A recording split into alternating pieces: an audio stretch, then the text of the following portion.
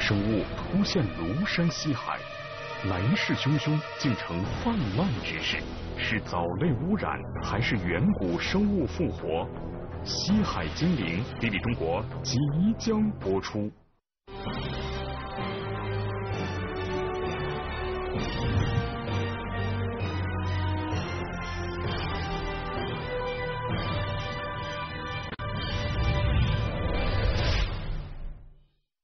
观众朋友，大家好，欢迎收看《地理中国》，我是老陈。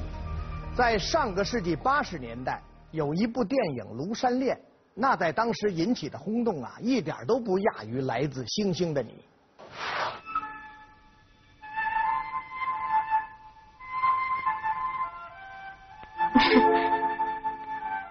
你叫什么名字？耿华，你呢？周云。电影讲的是漂亮的女海龟，啊，她在庐山游览的时候，与在山上读书的男主角是一见钟情，引起了一连串浪漫的故事。这部电影呢，不仅打造出了两位偶像明星，而且也让庐山的美景再一次名扬四海。然而，就在不久前，就在当年拍电影的这个拍摄地。却出现了奇怪的景象，可把当地人吓得不轻啊！位于江西省北部的庐山，自古以来就以名山胜水闻名于世。站在庐山上远眺，一片碧绿水域映入眼帘，这就是庐山西海。世代生活于此的人们。以西海的清澈纯净、纤尘不染为骄傲，享受着大自然赐予的恬静生活。然而，一件意外的事件却打破了宁静的生活。一位在西海捕鱼的渔民，因为渔网被水草挂住，他跳进水里想解开渔网，可刚一下水就感到小腿一阵剧痛。他回头一看，不禁被眼前的恐怖场面惊呆了。只见一片白茫茫的絮状物正向他包围过来，紧接着身上就像被刀片割破了一样疼痛。他不敢停留，渔网也顾不上收，就赶紧爬上了船。在随后几天，相继有人报告说西海出现不明生物，据说它们通体透明，泛着荧光。而且移动速度极快，就像一种发光鱼。这种不明生物，就连世代在此捕鱼的渔民也没有见过。感觉到特别奇怪，从来没见过这么小的鱼。紧接着，更让人吃惊的事情发生了：西海里的不明水生物突然间大量蔓延，来势汹汹，好像一夜之间突然大爆发。湖面白花花、亮晶晶一片，当地村民开始紧张起来。村民们靠水而居，他们用西海里的水灌溉农田，在湖里打鱼捕虾。他们说，湖里水美鱼肥，是他们赖以生存的家园。要是西海出现了不明生物，那将直接威胁到附近数万人的生活。一时间，西海附近的村落人心惶惶。这西海的神秘生物到底是什么？咱们暂且放一放。接下来，我先给大家讲一个《聊斋》的故事。应该说了，怎么说着说着讲起《聊斋》的故事来了？这《聊斋》里讲的可都是鬼神什么的。难道西海里也冒出狐仙鬼神不成？您先别着急，听我慢慢的道来。话说，在一个月光皎洁的夜晚，蒲松龄的好友们在江面上荡舟饮酒。突然间呐，这江面上出现了大片的光亮，犹如青色的火焰随波逐流，众人十分的惊慌啊。就问船家：“这这这这是怎么回事啊？”船家说：“你们不知道啊，就这片水域曾经是古战场啊，每到夜间的时候，就常有鬼神出没。”哎呀，听船家这么一说，众人的汗毛都立起来了，一个个张大了嘴巴，瞪大了眼睛，看着江面，都想弄清楚这光亮究竟是什么。这个故事出自《聊斋志异》第三卷江中一文，记述了这样一件事：重坐舟中，悬见清火如灯状突出水面，随水浮游。渐进船，则火顿灭。问周人，周人曰：“此古战场，鬼石出没，其无足怪。”吴泽是蒲松龄的第十一世孙，也是《聊斋志异》的资深研究者。这篇江中所记载的神秘现象让他非常好奇。为了解开水上鬼火之谜，他按照书中提示，来到先祖蒲松龄和游人夜游的地方文昌湖，并找到了平日里负责水域巡视的工作人员，了解情况。你经常这个水面上这么多年了啊，有没有等晚晚上巡逻呢出来的，看到水面有发光的这个东西？对了，有时晚上有月光的时候啊，他会他们他有呃边有时有那个四周有个灯光啊，一照反正有时一照呃有有照样发光。蒲泽分析，如果是打渔人点燃的渔火映照在水面上，光亮会十分微弱，不足以引起众人的注意；而如果是月光映照在水面上，也不会突出水面，随水浮游。可见文中所述并非水面反光。这时，水库巡视员突然提出。他听说水中的藻类在特定条件下也会产生发光现象。在自然界，由藻类产生的水体变色现象，在淡水中被称作水华，而在海洋中被称作赤潮。那么，在《聊斋志异》一书中提到的神秘光亮，会不会就是藻类聚集产生的水华现象呢？带着疑问。蒲泽来到山东理工大学，向专家寻求答案。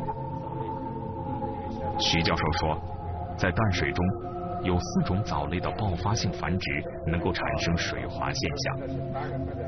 这其中只有极少数的假藻会发出微弱的光亮。气候温暖上升的时候，那么它会大面积的繁殖，在夜间。那么外界光线不太明显情况下，它就能够看到它的荧光。看来蒲松龄在《聊斋志异》当中所描述的现象啊，其实并不是什么鬼神出没，而是假藻的大量聚集，才造成了江面上神秘的亮光。专家说了，出现水华时，这个藻类就会大量的繁殖啊，就是这些藻类，这个时候水体呢就会富氧化。啊，这就会造成水中的鱼呀或者植物什么的大量的死亡。您想想，这后果真是挺可怕的。那么，庐山西海出现的神秘现象，难不成也是假藻在作怪吗？若真是如此，不仅往日的青山秀水不复存在，就连周边的村民。他们的生活、生产用水，以及在此以捕鱼为生的人们的生计，也将面临着巨大的威胁。村民们不敢怠慢，立即报告相关部门。当地政府迅速组织人潜入西海水下，收集了这种不明生物的样本，并连夜派人送到南昌，请有关专家进行化验。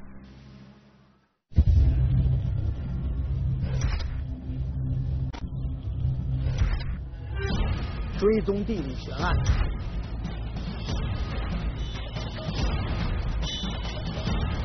还原科学现场。地理中国周末特别节目《地球档案》精彩呈现。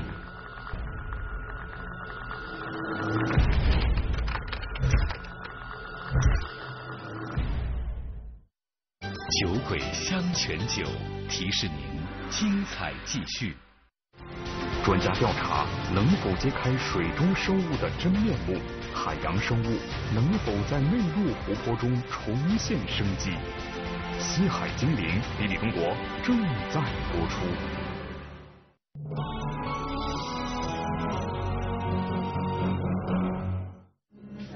常年致力于水环境研究的欧阳教授，对不明生物的标本进行检验。随着检验结果逐渐清晰，欧阳教授兴奋起来。他不敢相信自己的眼睛，这难道就是消失多年的桃花水母吗？桃花水母啊，它是一类最低等的多细胞动物，它也是我们其他高等的多细胞动物的祖先。专家介绍，桃花水母在地球上出现的时间比恐龙还早，已有六亿年以上的生存历史，目前已濒临绝迹。由于它对生存环境有极高的要求，水质不能有任何污染。所以，现存活体已非常稀有，属于世界最高级别的极微生物，国家一级保护动物，有“水中大熊猫”之称。接下来，我们近距离的观察一下水母这种海洋无脊椎生物。大家看啊，这里有两只水母，你看它的外形就像一把撑开的伞，你仔细看，在伞体上还有很多细长的触手。现在呢，我把这个水母啊，从这个玻璃缸子当中捞出来。水母啊，它的这些触角，其实就是它的消化器官，也是它的武器。上面布满了刺细胞，它能喷射出毒液。猎物被刺蛰以后呢，会迅速的麻痹而死，成为水母的美餐。可能您会说了，你捞的时候为什么它不蛰你的手啊？我告诉您吧。我捞的这种水母，它是赤月水母，这是人工繁殖的，它没有毒，也不会蜇人。其实啊，这个水母的寿命很短，平均呢只能存活几个月。它身体里绝大部分都是水，水母死后呢，身体表层的胶状物质就会融化在水里，消失的无影无踪。在西海中发现的桃花水母。继承了水母家族的基本特性，它的直径约二点五厘米，身体四周有上百根长约两厘米的短触角，它们呈白色或绿色，晶莹透亮，柔软如绸，像透明小伞在水中漂浮。除此之外，它们还有着独特之处：桃花水母中间长着五个呈桃花形分布的触角状物体。这使得它伞状体的形状特别像盛开的桃花，所以被称为桃花水母。这是一种濒临绝迹、古老而珍稀的腔肠动物，是名副其实的生物活化石。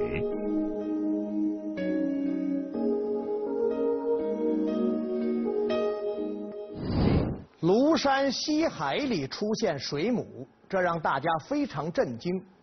然而兴奋之余，大家又产生了疑问：作为一种极其古老的腔肠动物，五亿年前就漂浮在寒武纪的海洋里了，它是一种海洋生物啊。可是这个庐山西海却是一个内陆湖，这里怎么会有桃花水母呢？内陆湖里有水母存在。这样的情况有没有过先例呢？哎，世界之大，无奇不有啊，还真有这样的先例。在太平洋上的帕劳共和国呀，就有一个水母湖，这个湖里呢有近三百万只水母，堪称是这种珍稀生物的天堂啊。帕劳群岛位于菲律宾以东五百公里的太平洋上。是亚洲大陆架边缘的珊瑚礁盘露出海面形成的一串岛链。由于这里的岩石为多孔隙的石灰岩，海水便通过这些孔隙渗入到岛上低洼的地方蓄积起来，形成了一些陆上海水湖泊。这些湖泊的周围都被十分茂密的丛林所围绕着，形成了相对封闭的局部生态小环境。水母湖便是这些海水湖泊的其中之一。在一万八千年前，水母湖水体的主要部分和海洋的通道就已经被隔开了。不过，湖中依旧保留了海洋环境。在这片水域里，古老的海洋无脊椎动物水母生存了下来。而且，在数千年的自然演化过程中，由于没有天敌。它们已渐渐失去了防御敌人的触角和刺丝囊，这个几百米长的小湖里，令人难以置信的水母数量和密度，使水母湖成为世界上仅存的远古海洋生物马斯提吉亚水母的天堂。三百万只水母吸引了许多游客从世界各地前来观赏。人们潜入水下，深入水母群中，与它们共舞。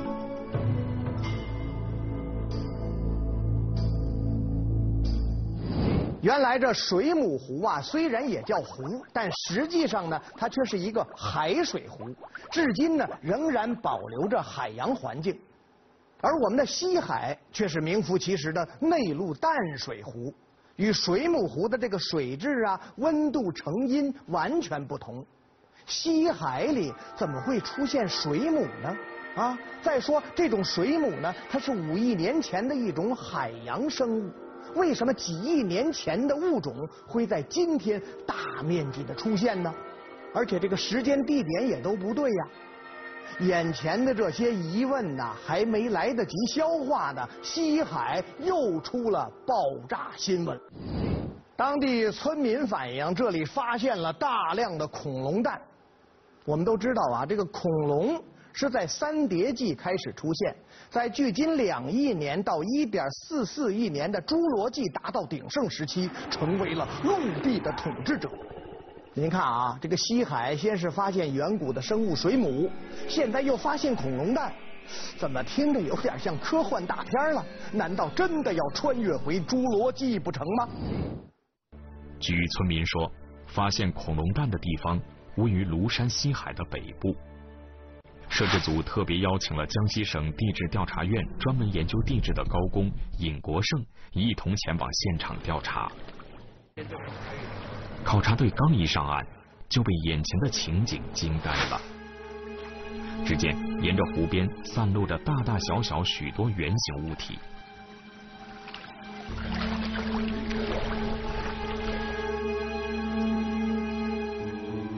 有的圆形石头像是镶嵌在石缝里，有的埋在深层的土里。这到底是什么东西？它们是否如村民所言，都是恐龙蛋呢？酒鬼香泉酒提示您：精彩继续。远古时期，这一带是否有恐龙出没？亿万年前，西海又有着怎样的地貌？桃花水母的出现，究竟揭示怎样的地球密码？西海精灵，地理中国正在播出。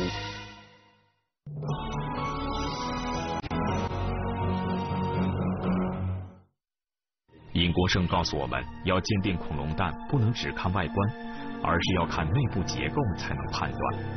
看一下里面是不是于是，考察队在现场选择了一块圆形石头进行检测。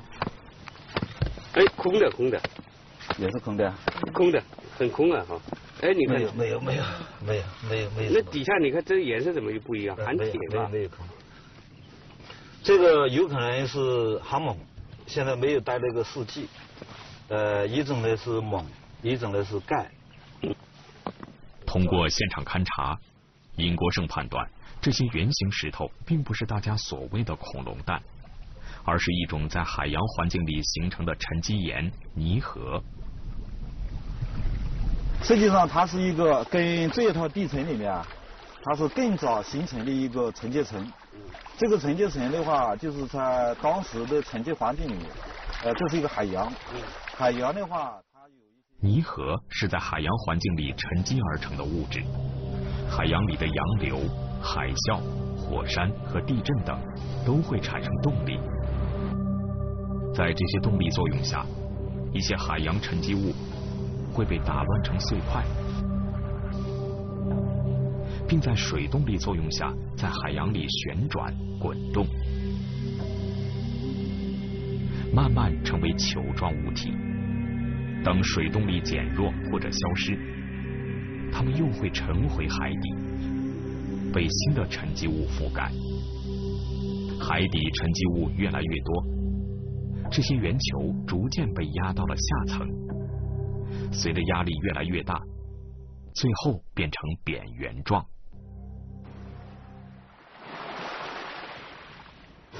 泥河的发现证明了，在亿万年前，庐山西海一带是一片广阔的海洋，桃花水母就生活在这片海洋里。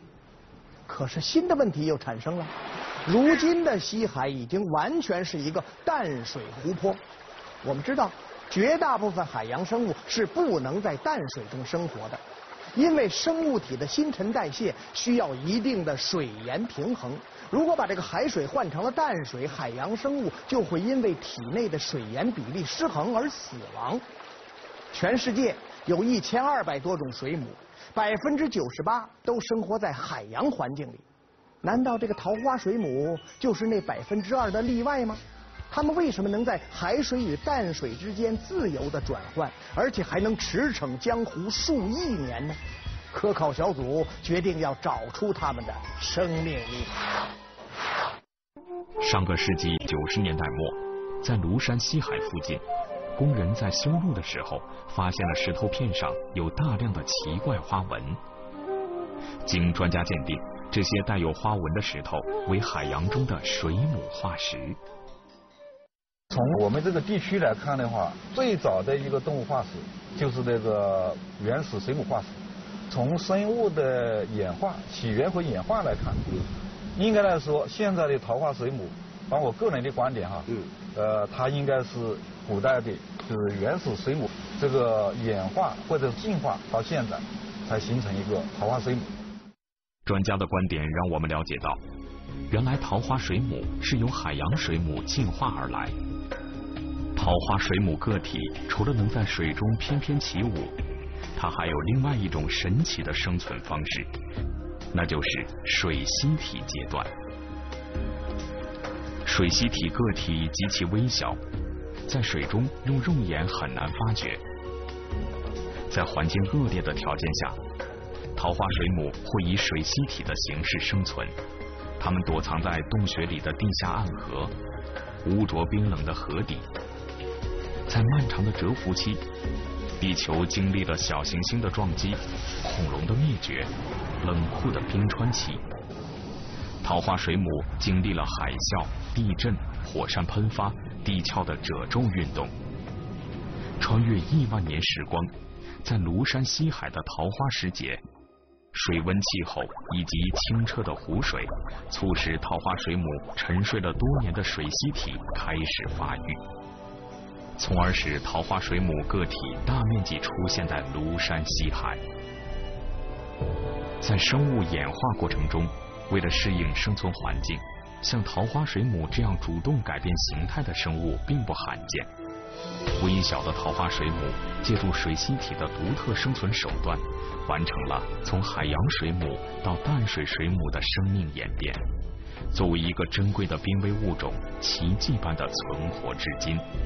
桃花水母在庐山西海大量存在，也标志着这片水域有着良好的水质和生态环境。人类的活动并没有干扰这里的自然平衡。在自然界，物竞天择，适者生存，能适应自然环境的物种才能留存下来。那么，究竟是哪些物种最先被淘汰？幸存下来的物种是如何改变自己，从而适应变化了的外部环境？生物的优胜劣汰法则和人类活动的影响之间是否存在着这种对应关系？